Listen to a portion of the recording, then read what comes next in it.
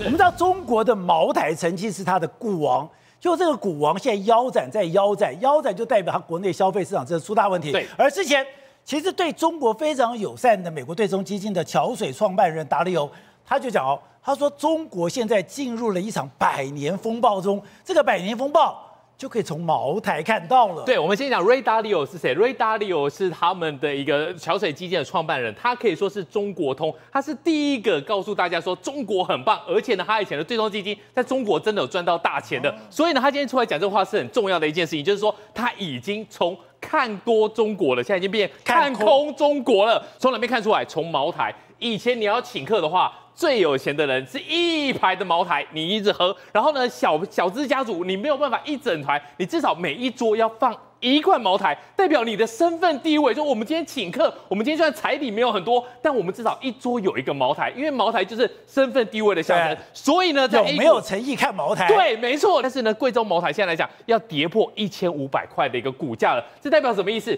以它的一个高点来讲的话，它蒸发了大概一千亿。但现在茅台到处都是，为什么？因为茅台一直跌价，很多的二手商他们收茅台酒，茅台收在两千五百块。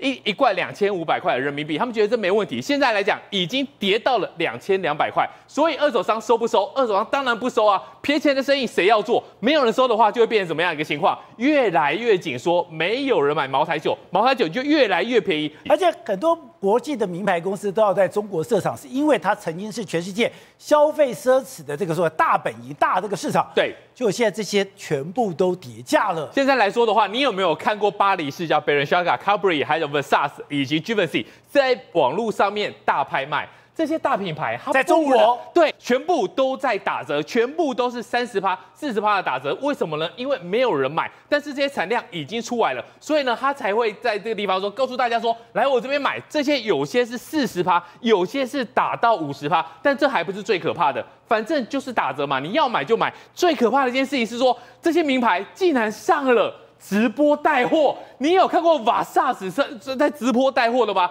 他直接在抖音上面来直播带货，然后呢穿上他们的这个顶级的这些睡衣，你你很难想象这些东西过去来讲的话是欧洲的精品，可以这样子直播带货的吗？然后呢还有弹幕跑出来说，可不可以算我便宜一点？这些都是名牌，这些东西来讲的话，不是走到最后的北风北，他们不会这样子玩。